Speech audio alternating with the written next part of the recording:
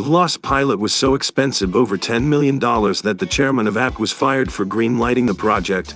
The day after Thanksgiving is called Brown Friday by plumbers in America because it is their busiest day of the year.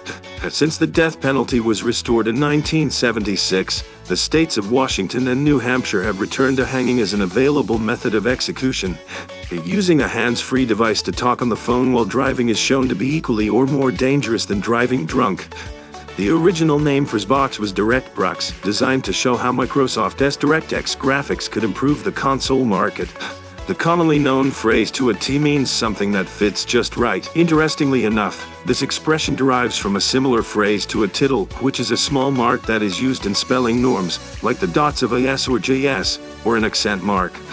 There was no period in Dr. Pepper. It was removed because the old logo font made it look like D Pepper. There were only nine developers on the team for GoldenEye 007 for Nintendo 64. GoldenEye 007 Nintendo 64 only one of the developers had ever worked on a video game before. Anna Bagenhold fell through a frozen stream while she was skiing and was stuck for over an hour. She made a full recovery and became the person to survive the lowest body temperature ever recorded at 56.7 degrees Fahrenheit 13.7 degrees Celsius, even though she was clinically dead. The first computer virus ever created was called Creeper back in 1971. Shortly after this virus was created, Reaper was created as the world's first antivirus.